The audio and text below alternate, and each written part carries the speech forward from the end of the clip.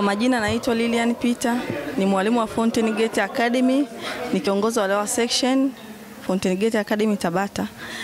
Mwaka huu 2022 tumejiandaa vyema kwa kasi mpya. Tumeandaa tumejiandaa kimazingira vizuri.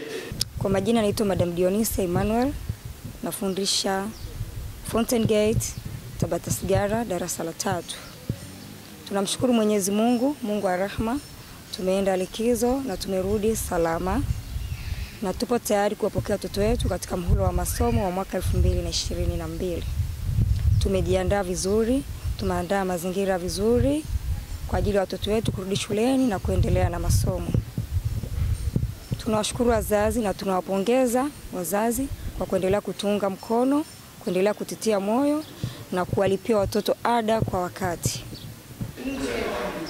Mazingira yetu ni mazuri, tumejiandaa kiakili kuwapokea watoto tarehe kumi na saba mwezi wa kwanza.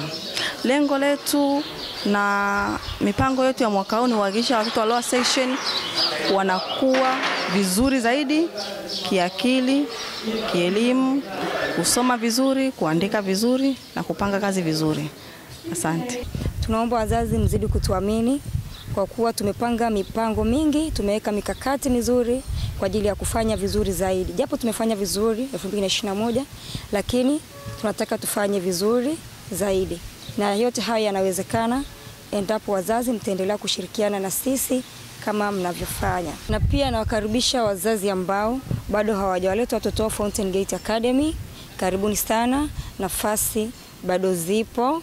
Tuna mazingira tulivu kwa ajili ya kujifunzia, tuna walimu waliobobea, tuna vyakula, tuna chakula kizuri kwa ajili ya watoto na ada zetu pia ni nafuu na anaweza kuzimudu mtu yoyote yule kwa kuwa tunalipa kwa awamu nne.